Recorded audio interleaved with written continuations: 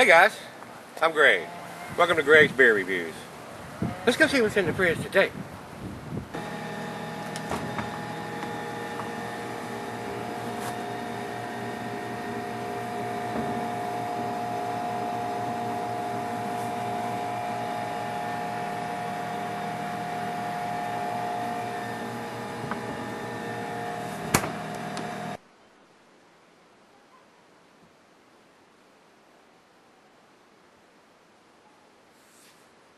Alright guys, thanks for stopping by Greg's Beer Reviews today. Today's beer comes from Starr Hill Brewery. They're out of Crozet, Virginia.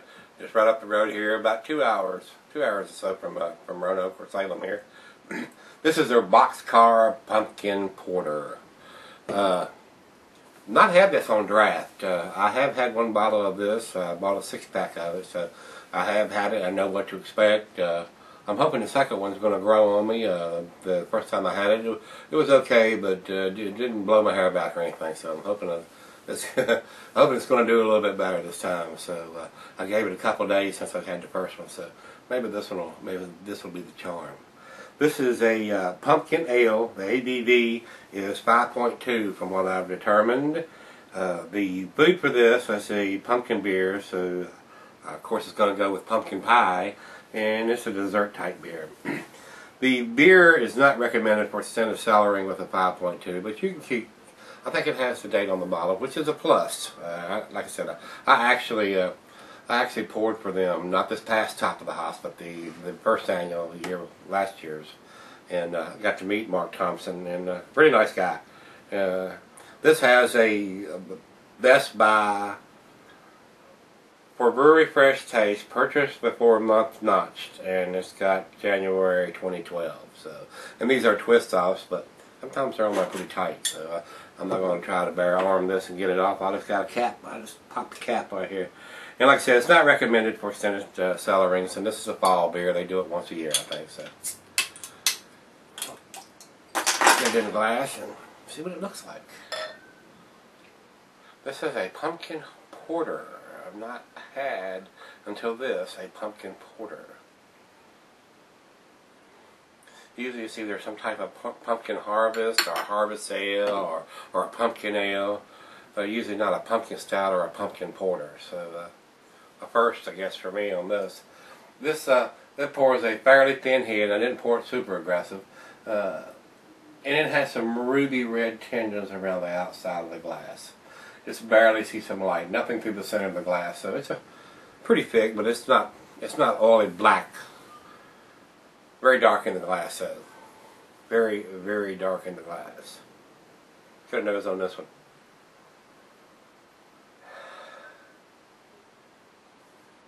Basically, what I'm getting is roasted malts, allspice, cinnamon, nutmeg, maybe a little clove, your typical pumpkin spices and pumpkin beer spices.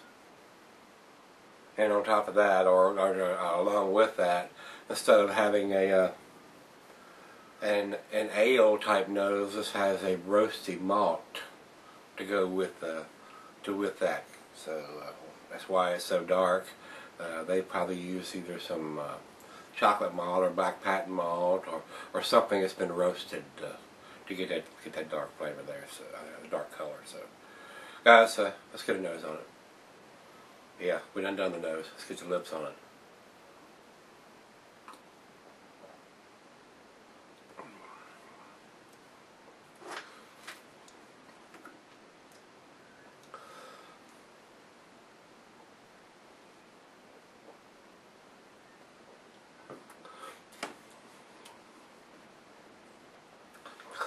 To me, I get the roasty malt up there with the cinnamon on the taste. Very pleasant. I mean, if you were blindfolded, I don't know if you could actually tell that, that it was a porter.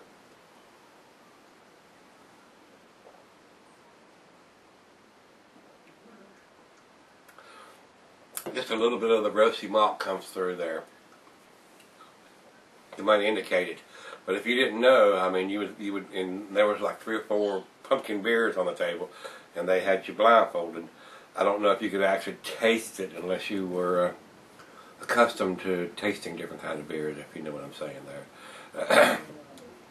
very delicious. I mean, it's, I don't think it's quite an A beer in my opinion, but it's a it's an above average beer, and I might be a little biased since I know the brewer, and uh, he's a pretty good fella, and they try to do good stuff, so uh, it's tasty. I mean, it's definitely worth buying. They got and they have this in. I could I didn't buy the single bottle, so I did buy a whole six pack of it. So I'm supporting the local brewer here, one of the local ones within a couple hours. So pretty tasty. I mean, uh, it's good. I'm gonna let it warm up. You know the deal. It's right out of the fridge. I'll be right back. When We'll do the final chug, but it's above average beer, guys. Stick around. All right, guys. Thanks for sticking around. Got just a little bit left here in the glass. I mean, this is to me.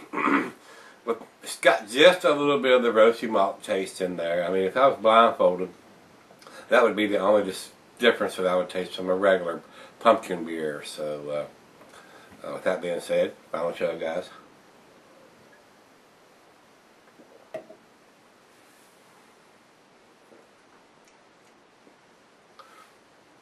What that is is a roasted pumpkin beer. I mean, that's the bottom line.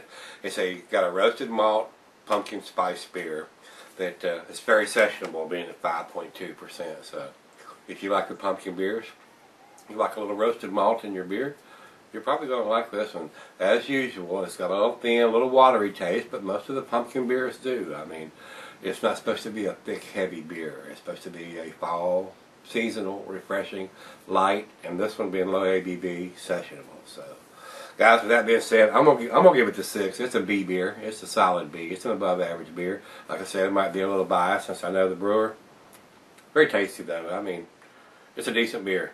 Uh, Rate Beer has this at a 58 overall and a 69 in style. So, not very high marks there, but Beer Advocate comes up with a B on that, and I agree with that. It's a it's a B beer. So, guys. Uh, if you can get Starr Hill beer, beers in your area, pick it up. Give it a try. This won't be around long. I mean, if you like a pumpkin pumpkin style beer and you like the darker beer, the porters, uh, it's a pretty good combination. You know, like I said, it's not blowing my hair back or my socks off, but it's worth a try, guys. So give it a try if you see it. As always, rate, com comment, subscribe. Can't get my mouth to work. Rate, comment, subscribe, and uh, as always, we're going to look in the fridge tomorrow. Come on back, see what's in there then. See you then.